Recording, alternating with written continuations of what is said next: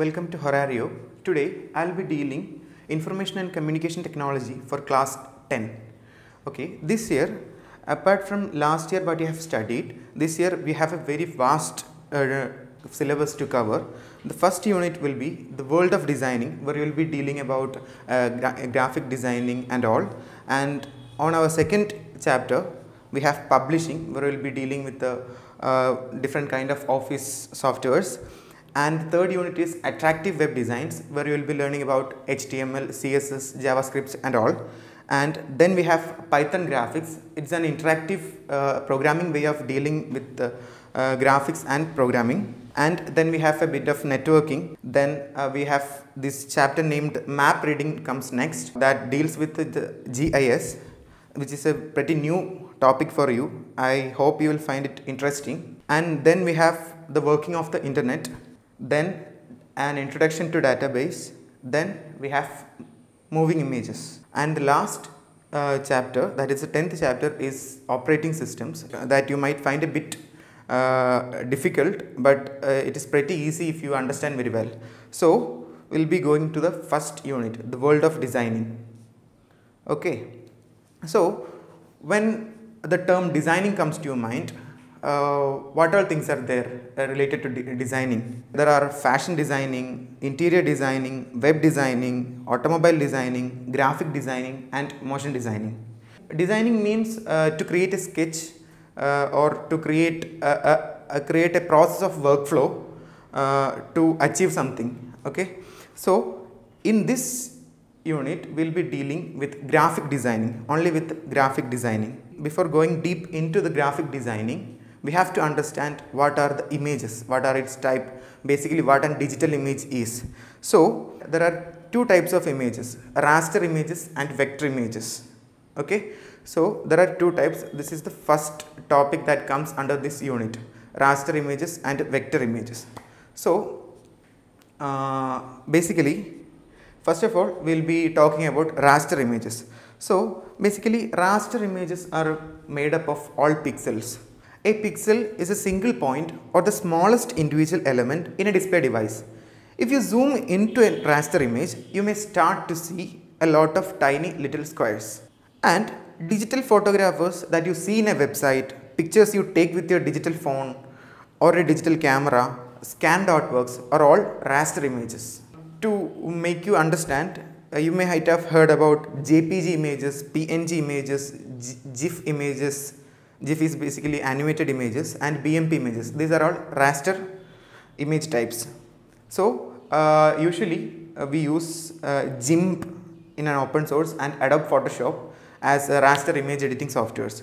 Now, let's go into vector images. Let us see what is vector images unlike uh, raster uh, we have understood that raster have raster shows every the data and data of colors of every images every pixels in it so the vector is a bit different. The vector images store the mathematical calculations from one point to another point in the forms of lines and shapes.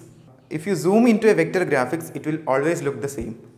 And vector graphics are commonly used to produce logos and other symbol graphic. You may need to uh, use different sizes that have uh, have the benefit of maintaining crisp sharp edges even when they are significantly enlarged vector image types are .cdr, .ai and .svg here we have open source inkscape and adobe illustrator. Then we have coreldraw as image editing softwares. Okay? So here uh, for making it clear, I will be showing, explaining to you. We have raster images and here we have vector.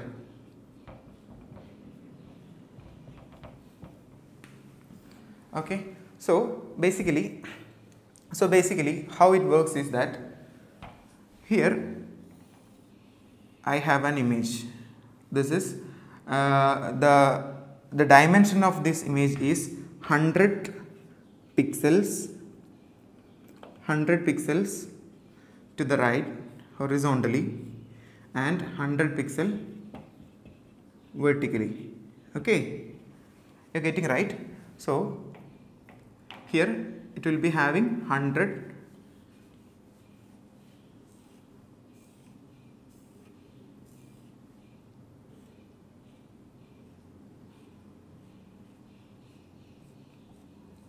okay? Suppose there are 100 100 columns and 100 rows.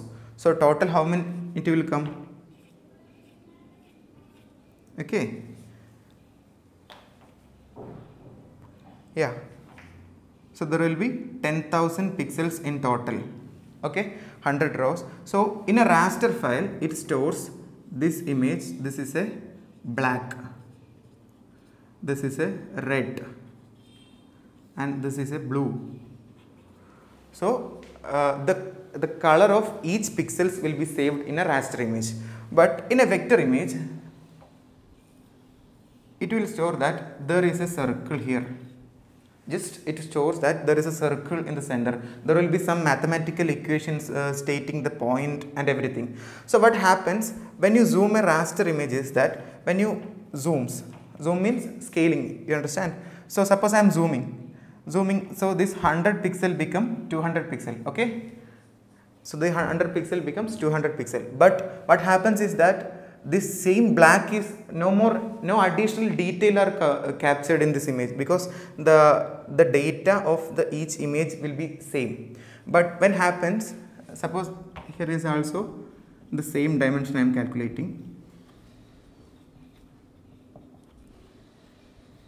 Suppose when you uh, uh, enlarge an vector image, what happens is that if you if you make it 200 and 200, the computer knows there is a circle in the center. So it is easy for the computer to draw a large circle. So the main advantage of vector files over raster files is that a vector file never loses its clarity while scaling. Understood? Now let us do an activity. Here let me go to my pictures folder. Here I have two images. One is raster example.png and vector example.svg. You should notice that there is difference in the file extension of these images. As specified, this .png file is a raster image and .svg file is a vector image okay. So what I am doing is I am aligning, aligning it side by side okay. Now you can see both the pictures okay. So you may notice that both the images are on the same size this is 600 by 600 pixels. So that might come uh, around 3 lakh 60,000 pixels in total both the images have. The uh, raster example.png is a PNG image and uh, vector example is an SVG image. But here when you see the file size of the raster example is more compared to the vector example. Here it comes over 24.7 kilobytes where the file size of the vector image is just 10 kilobytes. Okay. Now our real activity is to zoom the image. So here I am going zoom See, now I have zoomed to a scale of 2000 percent. So, this image is 2000 percent larger than its actual image. While zooming you can see some pixels coming. So, that were the pixel that we are talking about. Okay. Now, let us zoom our vector example here. See no matter how many times you zoom the quality will not be lost. Okay? I hope you get. But see the major different uh, important point here to be noted is even this vector image not losing its quality it's just 10 kilobytes. Whereas that raster file loses its quality even with 24 27 kilobytes. Now let us compare raster and vector images. So, first of all an raster image stores data about each pixels whereas the vector image stores mathematical calculations from one point to another that forms lines and shapes. Okay. So, we have seen in the previous activity that a raster images decreases its clarity while zooming or scaling. Vector image will not decrease its uh, clarity while zooming or scaling. Okay, and we have also noticed that our raster image is bigger file in size, which we uh, happen to be 24.7 kilobytes, whereas our vector file was just uh, 10 kilobytes, where both the dimensions of both pictures that we use for activities were 600 into 600 pixels. The file extensions are .png, .jpg, .bmp, .zip. PNG is a uh, portable network graphics and JPG is an uh, picture image. Bitmap file you know BMP and .gif is used for animations and whereas it comes in vector .svg, .ai and .cdr. Now we have a small activity given in the textbook that I will not say any answers that you will have to find yourself. So, mark each one of the following as correct or wrong. The first question is raster images are made of pixels. The second question is vector images lose their clarity while scaling. We have seen that. Third question is vector images have smaller file size compared to raster. Okay. So, I hope you will do your work. So, now let us see some graphic designing softwares. Okay. So, I have uh, proprietary softwares and free softwares. I believe you know what the difference of uh, proprietary software and free softwares are. Okay. First we will be dealing raster uh, softwares. In the proprietary software we have Adobe Photoshop and Adobe Lightroom. Okay. In the free software section, we have GIMP and ImageMagick. ImageMagick, uh, you might know it's um, uh, released by, licensed by Apache. Okay, in the vector section on the proprietary, we have Adobe Illustrator and CorelDRAW. And uh, in the free software, we have Inkscape and LibreOffice Draw. In the that software comes with the LibreOffice uh, package. Okay, so let us sum up. We have Adobe Photoshop and Lightroom in the raster section and GIMP and ImageMagick in the free software section. When coming to vector, we have Adobe Illustrator and CorelDRAW in the vector section and Inkscape vector graphics editor and LibreOffice Draw in the free software section. Okay, now let us let us uh, talk about Inkscape vector image editing software. So, uh, in your first unit, it's all about Inkscape. Okay, so, let us see how to open Inkscape. From applications, graphics, there will be Inkscape. Okay.